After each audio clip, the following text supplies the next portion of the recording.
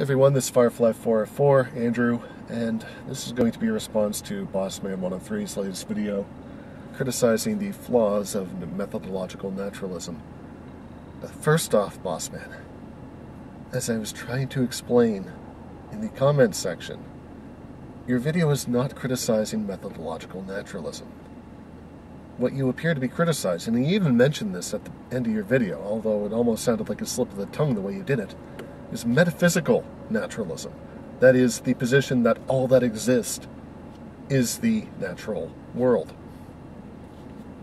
Methodological naturalism is simply we can explain the natural world by looking at the natural world. That is, we can take our observations of the natural world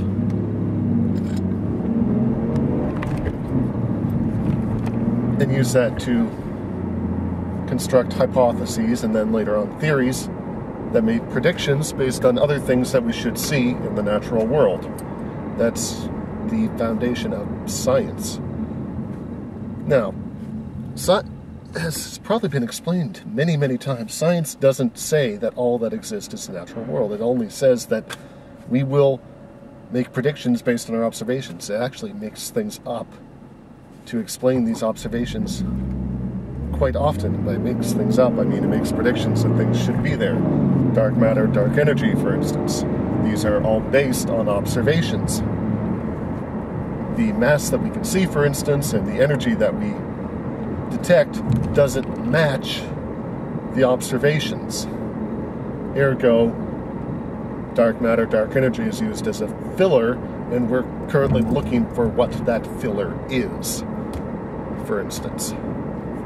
Now, particular, one thing in your video that really rubbed me the wrong way, I have to say that, is when you say you object to how they use probability. Uh, really have absolutely no idea what you mean by that.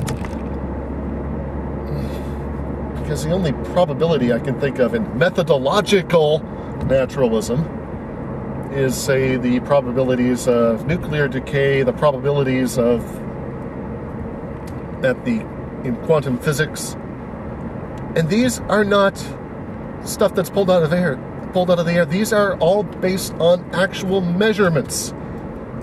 In other words, half the half-life of uranium 235 for instance. That's an actual measurement. The probability of a particular alpha particle decaying is such based on this actual measurement. So, what in the world did you mean by that? It made no sense in the context of methodological naturalism. All right. I've got this recorded. I'm going to end it here for now. Hopefully, you can clarify. Talk to you later, everybody.